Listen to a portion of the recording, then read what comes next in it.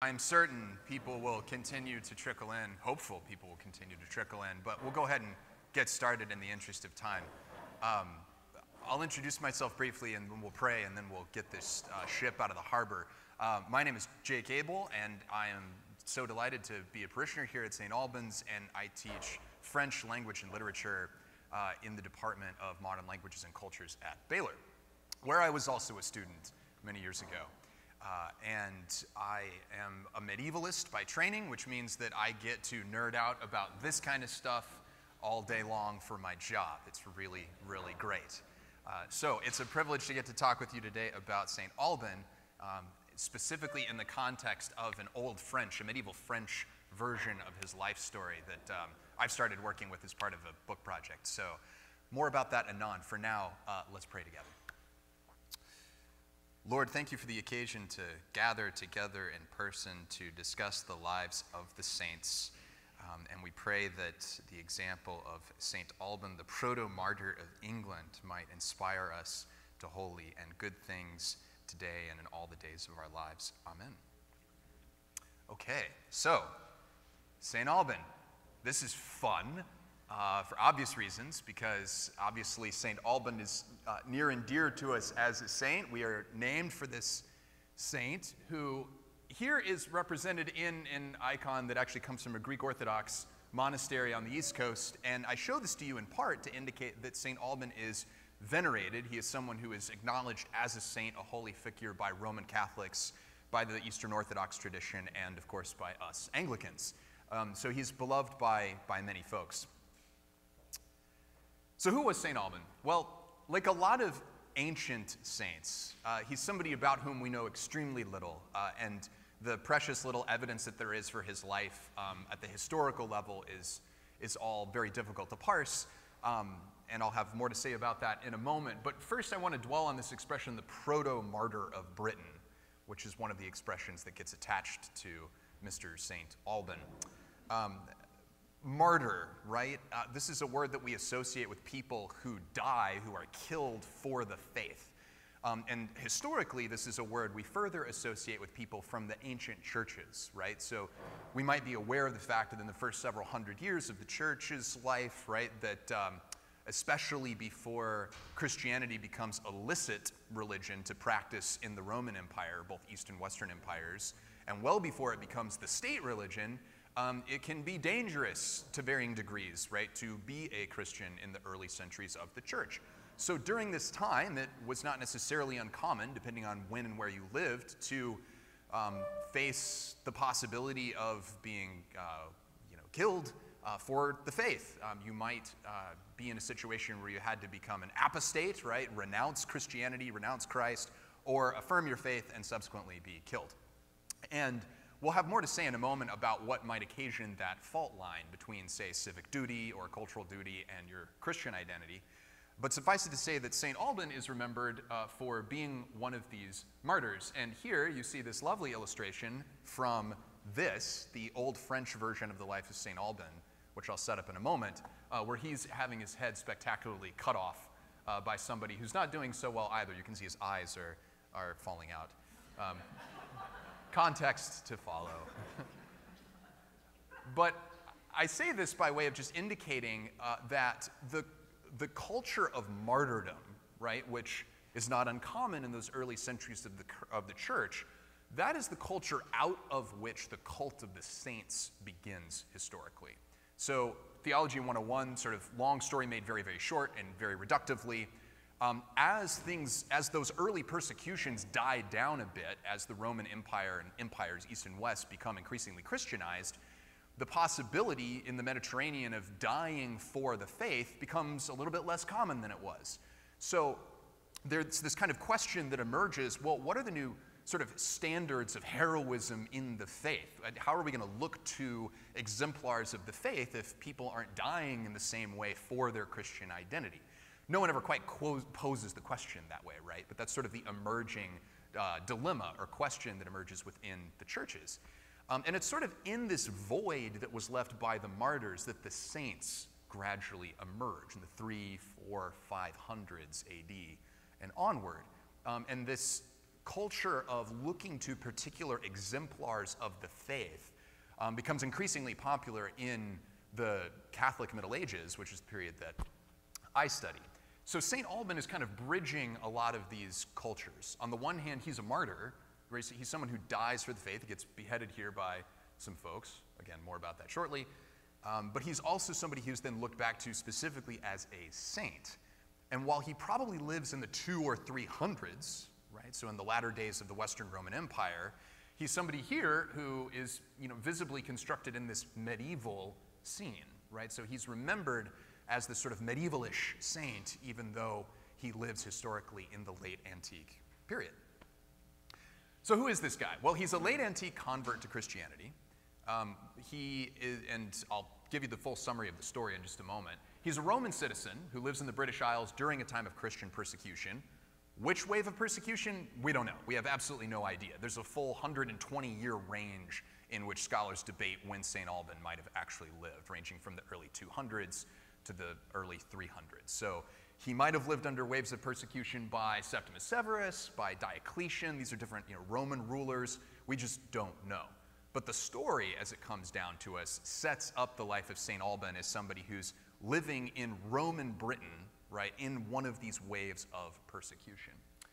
And he's also subsequently the subject of a lot of stories in different language that celebrate his sacrifice for a priest named Amphibalus.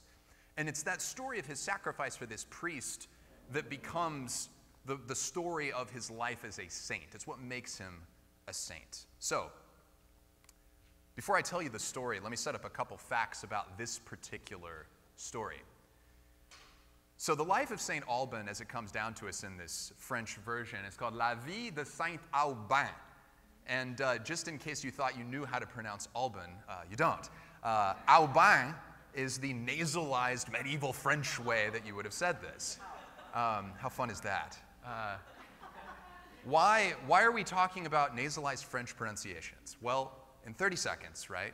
And I, we have some medieval English people in the room. In 1066, right, this upstart Norman duke named William the Conqueror says, Hey, I have a sort of convoluted claim to the throne of England. So he amasses a big old army, a really big army, and sits for a long time, right, on the English Channel to wait for the weather to get really good marches on southern England, uh, defeats uh, the English forces at the Battle of Hastings, and then marches on London and says, I'm your new king. And England fairly well rolls over and says, okay, I, I guess we speak French now. And uh, England becomes a functionally bilingual country for hundreds of years. Fun medievalist nerd side fact here we thought for a long time, and maybe some of you, yes, you, in school, were taught that after the Norman invasion of 1066, that only the aristocracy and the royalty spoke French in addition to English. Uh, in the last 10 years, that's been pretty resoundingly disproven, uh, and we now know that folks were diffusely bilingual to varying degrees across social class um, in England well into the 14 and 15 and hundreds. Um, why does that stop? Well, because of this thing called the Hundred Years' War, and suddenly the French become the big hereditary enemy, and we have to drum up this idea that French is the language of our enemies, and the poor farmers are going, but we've spoken it for 400 years. So, fun stuff. So, this is why we have this story of St. Alban from England, the proto-martyr of England, in French, right? And it's why I study it as somebody who studies French, right? That's why I get to bring this into my bailiwick. So, the life of St. Alban is the story of this Roman citizen, and right away we're told in this version of the story that he was a nobile citoyen, a noble citizen, specifically a noble citizen of Rome. And he's, he is said by the, the writer, the poet, to be dressed in, in golden finery. So right away we have this idea that this guy, who's not especially remarkable, is somebody who is an upstanding citizen, he's an upstanding Roman citizen, and his clothing signifies that, which becomes really important for the story because what's going to happen is in this time of Christian persecution, there's this priest ooh, of this you know, new religion, newish religion, certainly newish up here in these British Isles, named Amphibalus, which, by the way, is a word that just means like cloak. So it's, it's clearly a signifier here that's designating the function of the priest in the story. So this guy shows up at St. Alban's house and says, I need a place to stay. And St. Alban says, Sure, fine, stay. That, that's cool. And, uh, and then um, something happens that I, I like to say to my students it's like a Broadway musical. So in Broadway musicals, right, people break into song. They're talking, they're talking, and then suddenly they sing, right? They like pivot out and they sing. And we just suspend our disbelief because that doesn't happen in real life, right? Well, in hagiographies in Old French, something very similar happens where characters like this priest will come in and say, Hey, I need a place to stay. And St. Alban says, Okay, great. So, you know, who are you? Well, I'm a priest. And you know, St. Alban says, Well, what does that mean? He says, Well, that means that I serve the one true God, whose son was Jesus Christ. And you know, God is three persons in one nature. And you get this like 2,000 line sort of summary of the faith, right? And then St. Alban will reply and say, Wow, that's really interesting that God is three persons in one nature, blah, blah, blah, blah, blah. Right? So this text is a kind of catechesis, right? It's a sort of rundown of the fundamentals of the Christian faith. And on the one hand, that can get a little boring, that can, that can seem a little trite, but I think there's something also meaningful and even profound in that structure of these stories about the lives of saints that we see here with St. Alban. It's not unlike what we do when we go to liturgy every week, right? We hear these really redundant stories and we say these redundant things, right? We said the Nicene Creed last week. In fact, we said it the week before that, right? But we do it again and again to kind of bathe ourselves in these fundamental ideas about what we believe and who we are. And um, ostensibly, that, that's good for us, right? And I think that something really similar is happening with these stories of the lives of saints, where you have priests often or holy people, and then converts who are sort of artificially talking back and forth to each other the content of the Christian faith.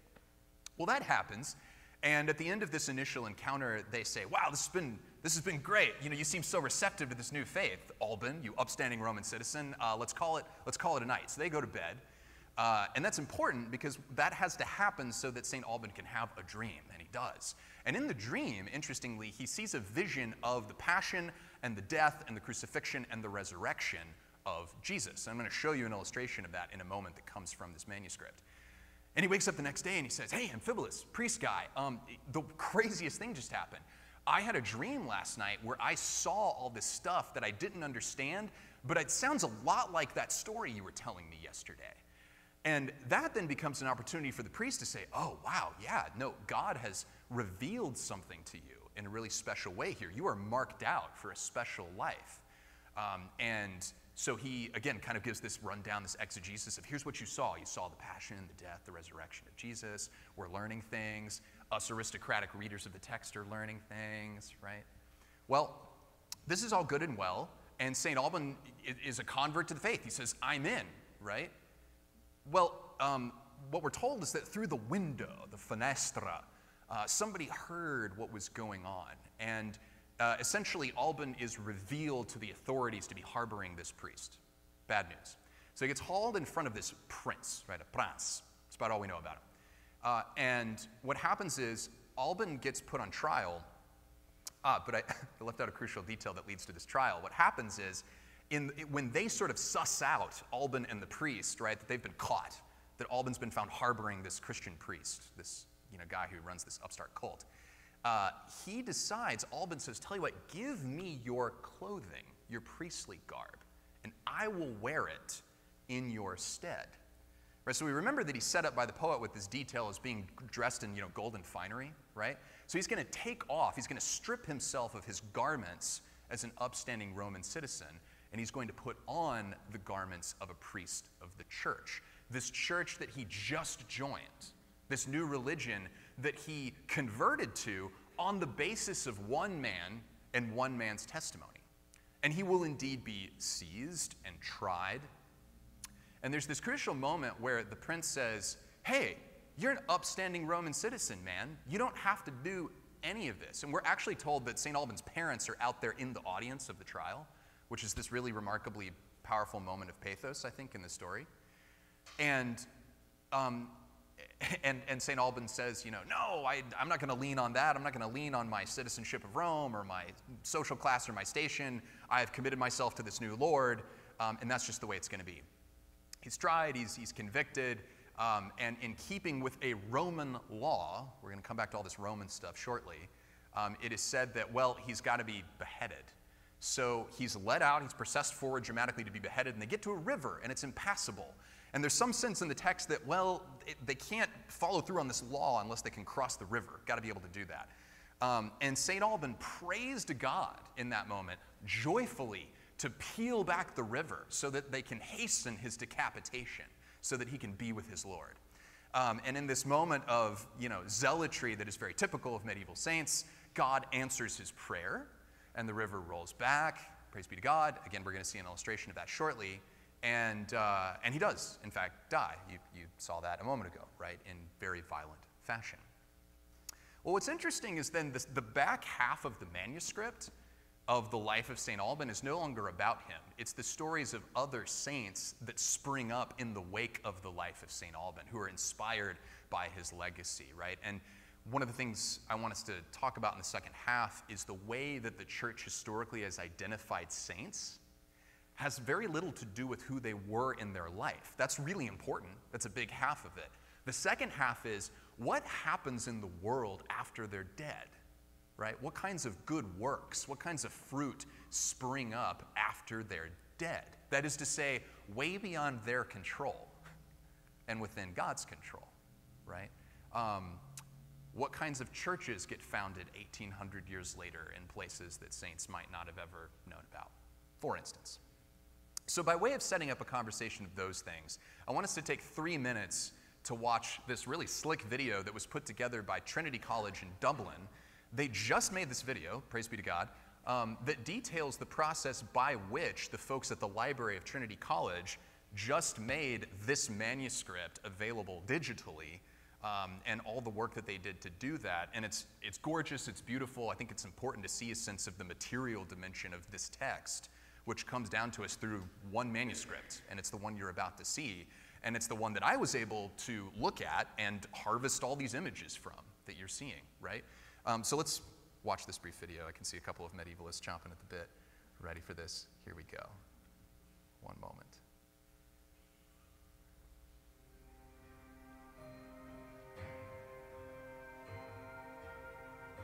The Library of Trinity College is perhaps most synonymous also home to over 600 other medieval manuscripts dating from the 5th to 15th centuries. The 13th century Book of St Alban or Life of St Alban is an example of how some of the masterpieces of medieval art can be found within the pages of a manuscript book, perfectly preserved with gorgeous colours. Most medieval scribes remain anonymous, but we know that this book was created by Matthew Paris, a monk, a scribe, a historian and an artist working within the Benedictine community in St Albans in Hertfordshire. And he produced this between 1230 and 1259. The Book of St Albans isn't just one text, but a gathering of texts on the same theme. It also features saints, kings, but also other members of the medieval world. You have bell ringers, you have sailors, you have horse grooms, uh, you have builders uh, in particular. Many of the images in this manuscript uh, run across a double page opening, so the narrative runs left to right. This is the Anglo-Saxon king Offa directing the building of the first St Albans Church. And here you can see many of the building trades and craftsmen depicted. This is the 13th century book of St Albans. It contains a dossier of works relating to St Alban and his comrades. It contains lives, the story of the rediscovery of Alban's body, and the uh, translation, the removal of his body from one place to another. The story has been told and set down by a Saracen who witnessed it all and himself converted to Christianity and he hopes that the story will be translated into Latin and into French, and it's in that form that it allegedly occurs in the manuscript. The text here is in French, and that would have made it accessible to a wider range of audience than works in Latin. And we know from a note earlier in the manuscript that Matthew's texts were circulated to noble women, to the king's sister-in-law, to some of the highest people in the land. And we only get a single instance of English, which is in the, a speech bubble in the mouth of this character here who's saying, Go, go, enemy of our city, to Alban, hmm. as he's led off to execution. And it's telling, I think, that English is put in the mouth of the pagans. Hmm. This is the first time the manuscript's available in its entirety, the first time it's available in full colour, and now you too, at the click of a mouse, can access a manuscript that Matthew Paris lent to the King's sister-in-law. How cool is that? All right, we don't need to watch it again. So, uh, but uh, beyond the fact that I like to geek out about this stuff because this is my profession, I think there is just something profoundly meaningful about the fact that, you know, a bunch of people on another side of the world, right, have dedicated their lives to preserving this book. We've got the one, right? And I can talk with you about this today because of the work that they've been doing. I think that's really meaningful and beautiful. So, to, to dig into some of the theological dimensions of this story that's preserved in this book you just saw. So, what kind of story is this old French, this medieval French hagiography, this story of the life of St. Alban? Well, we talked about how it's a kind of catechism, right? It's a rundown on the fundamentals of the Christian faith for those of us who need to hear that again and again. It's a source of inspiration for the Christian faithful in the Middle Ages, right? You're, you're not feeling so committed to your life of faith on a given day. Well, listen, attend the story of this St. Alban. It might be the shot of adrenaline that you, yes, you need to recommit yourselves midway through Lent to whatever it is you're doing. It's a religious origin story for English Christians, right? So again, he's the proto martyr of Britain, and there's a sense in which the life and sacrifice of St. Alban provides a kind of identity for English Christianity. And it's a reminder of the costs of Christian discipleship. And it's on that that I want to focus in the last 10 minutes before I turn it over to questions. So, to gather a few ideas here, I ask what kind of saint was St. Alban in this story? And I pose that question because there's lots of kinds of saints in the late antique world and in the Middle Ages and today. There are quiet, humble saints whose lives, you know, you couldn't write a sentence about because they didn't do much that would make it into a history book, but they were saints nonetheless. There are loud, brash saints, right, that enter onto the world stage and, and are known for their work, right? The Mother Teresa's of the world, right?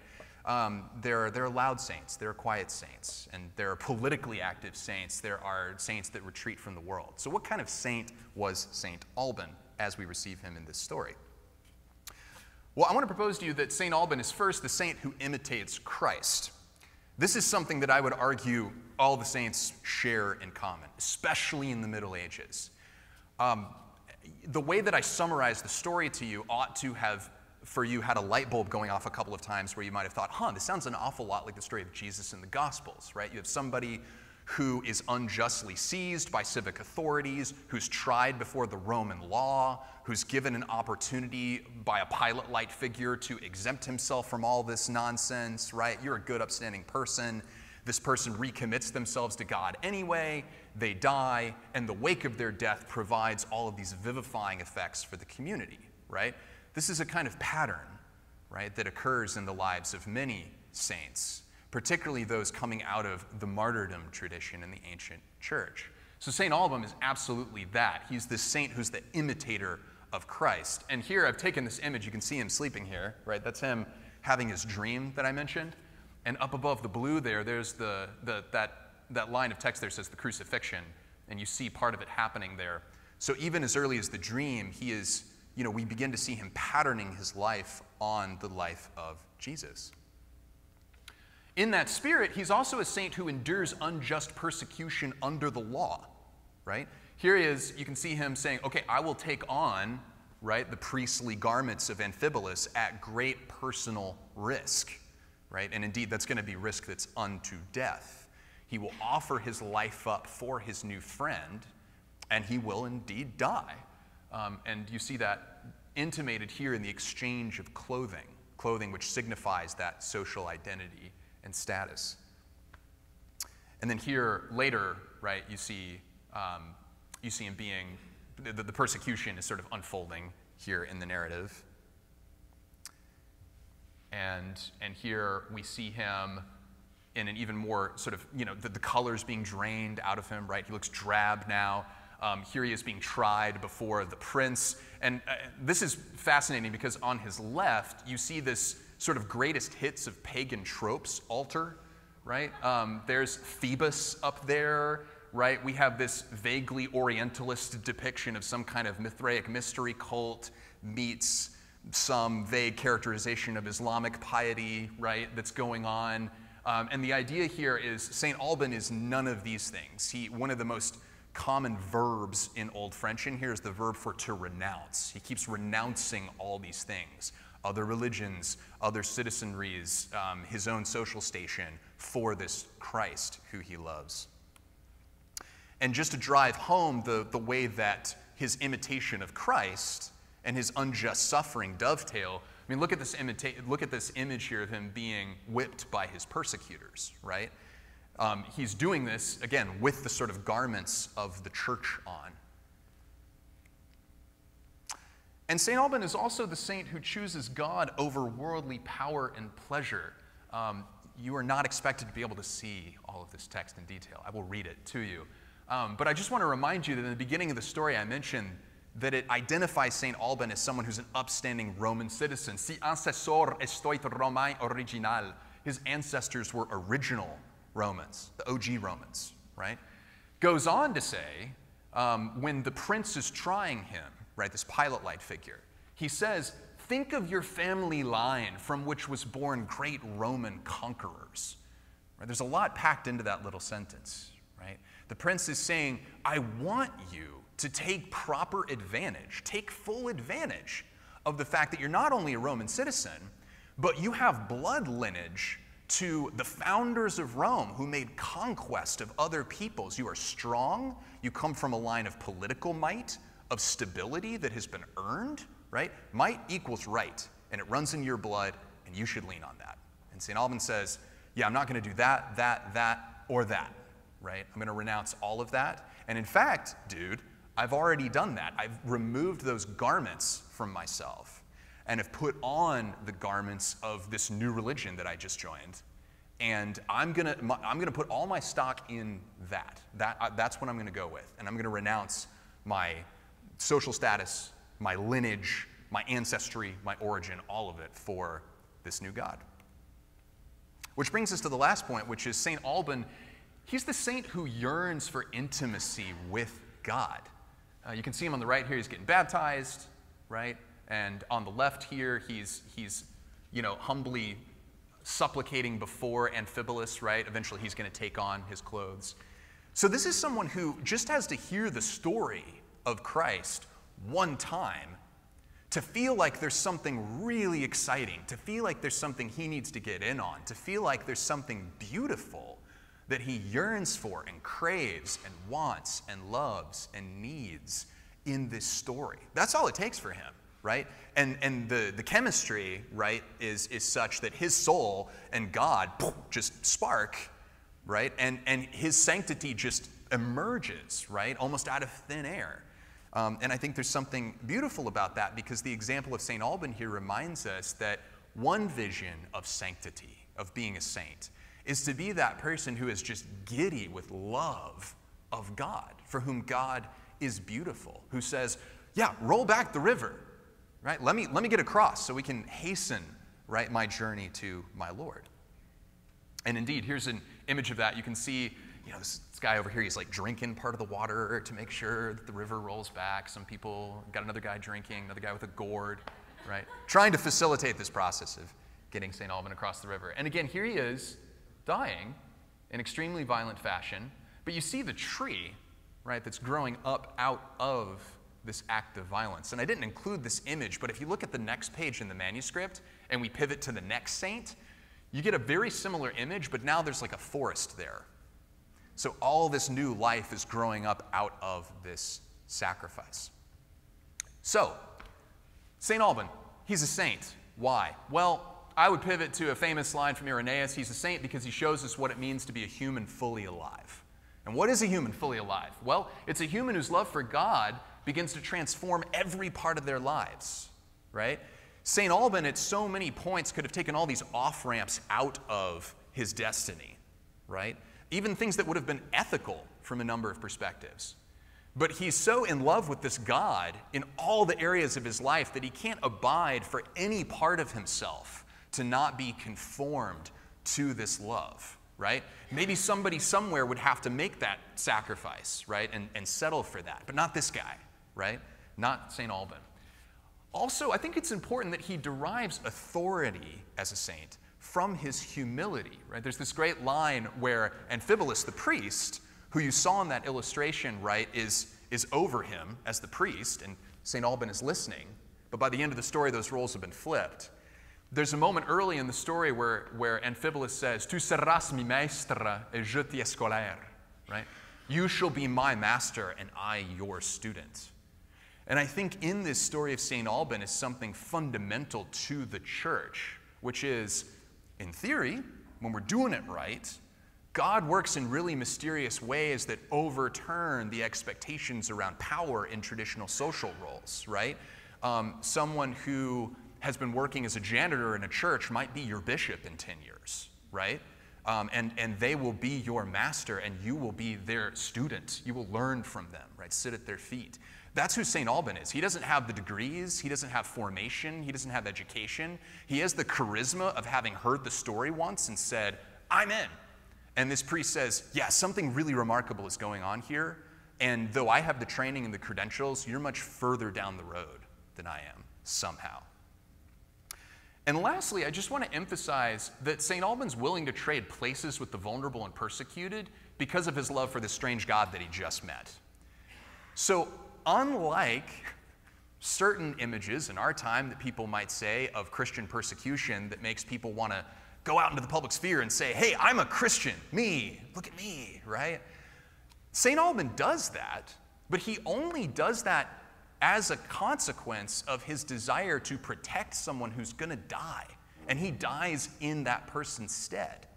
So, for the saints, particularly in this medieval tradition that I study, right, Coming out in public and saying, hey, I'm a Christian at great personal cost, that is indissociable from the protection of the vulnerable and the weak, right? Um, he's not, this isn't about him. This isn't about St. Alban making a point about his identity, right? St. Alban only has to make a point about his identity before political authority because he wants to save some poor, helpless person's life who isn't protected under the law. Which leaves us, I think, with three questions. St. Alban has been pushing me to think about his life in these three terms, and I offer these to you. How is God calling you to divest yourself of the privileges of station, class, and citizenship in your life? What vulnerable people or populations can we identify with at personal risk to ourselves? And highly relatedly, is God beautiful to us or not? And if not, why not? And as we ask those questions, I, I want to leave you with this juxtaposition of images.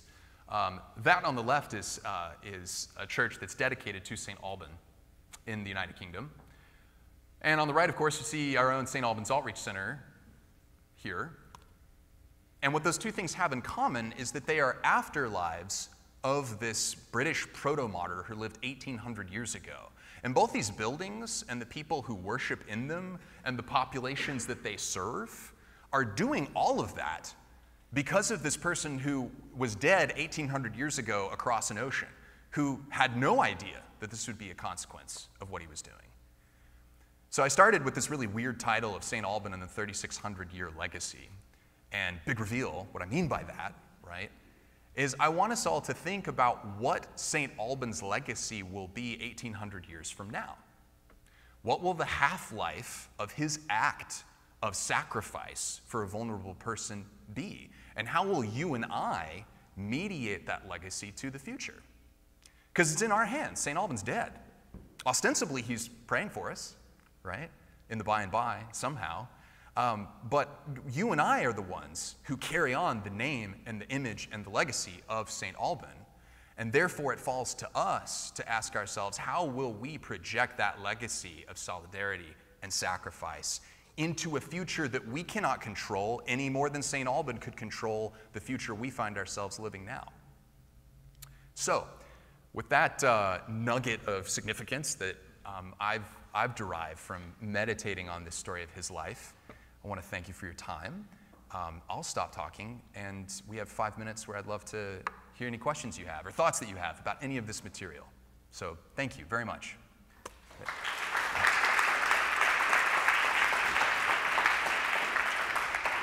Please. Um, do we know once he puts the priest puts his clothes on to Yeah. What happens to the priest? Is there any on that? That's a great question. Um, I, if memory serves, he's also, I don't think he gets out clean in the story. I think he's also lumped into the, the bad after effects of this. Um, but let me, let, me, let me reread it and get back to you. Yeah. Yeah. Right. Is there, is there Yeah. anything that, hmm. so how easily the priest gives up his garments to let someone else die for his sins? Yeah. Kind of hit me a little. Right. Not that, yeah, that seems like the wrong perspective to come from. Um, and that is a huge, like none of us are called literally to die for what we say we believe in. Maybe we're to die to self in a way, but how do you really take that and look at what does that call me to do? Yeah. Come again? Thank you. Yes. So that question uh, from from Alan, as usual, hitting at the the core of things is so. If uh, first of all, are we called to some kind of possibility of literal death, like Saint Alban? Um, and based on our answer to that question, what does this legacy or example mean? So, as to the first question, I think even in our own time, the question of whether we're called to literally die for others or the faith is usually a function of where we're born and social location. There are plenty of people who are literally presented, you know, with the option of dying for the faith in some sense or for others, which is the same thing, um, all the time. You know, so I would I would want to challenge us to think that this era is not just in the deep past; it's with us. It's just harder to see sometimes, right? Um, but, but to the second and brilliant question of regardless of that, you know, lots of us are going to die in our beds when we're old, or we're going to die in different ways, and we won't be called to this kind of life. So, what is this about? Well, you know, to me, to, to go back to one of those three questions I put, I think for me, what matters most, and I think what St. Alban would have us do, is to meditate daily on the question of how am I divesting myself of comfort and power and privilege for people who stand to benefit, right? I may not have a priest coming into my house seeking persecution, um, but I might be confronted with people down the street or in my community who need my time. They might need my money. Um, they might need me. They might put demands on me in ways that are uncomfortable and inconvenient.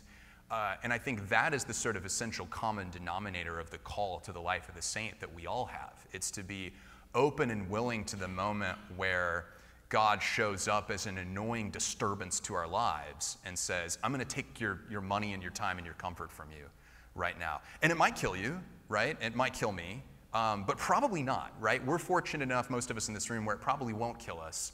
We should probably be ready for it to. Um, but if it doesn't, uh, I think it's still, uh, it's still the same call to holiness. Yeah, please. Just an observation, as a part of the story, he said that the prince was imploring him to think of his family lineage. Yeah, That reminded me that in the scripture, that Christ had to come from a certain lineage to fulfill the Old Yeah. Just got me that in the scripture Christ had to come from a certain lineage to fulfill the Old Testament. Yeah. Got me to think of that. Absolutely. And I love that you raised this point because, right, Jesus in his own way, once again, is setting the, the template of the saints in so many ways. But one of them is, of course, in the Garden of Gethsemane, right, where we get this famous moment, right, where the disciples say, hey, like, effectively what they're asking Jesus to do is call on your lineage, right? Like, you're the Son of God. So accept yourself from all this pain and, and suffering. And, and of course, as you're pointing out, Jesus says, no, I'm, I'm not going to do that, right? Like, my father is so much you know better and more interesting and has the greatest bona fides of all much better than roman ones right but even under those circumstances jesus refuses to do that and of course he does that same thing too of revoking his sort of filiation as god's son of course in the 40 days too right where satan's going to do the same thing like hey you're the son of god you rightfully can lean on this lineage on this power on this privilege and jesus is going to say no um, I'll, I'll get bread I'll rule the world. I'll do all the things you're offering me, but I'm going to do them the long way around, and I'm not going to exploit people along the way. Yeah. Do we know what happened to the priest? Was he blacklisted or anti-saint?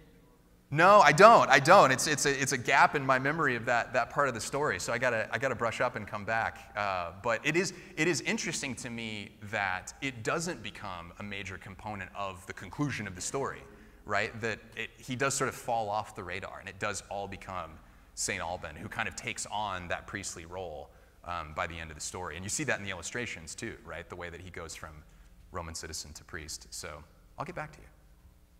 Please. Um, my wife was curious what proto means. I mean, I know. Oh, sure. Yeah, of course. Yeah.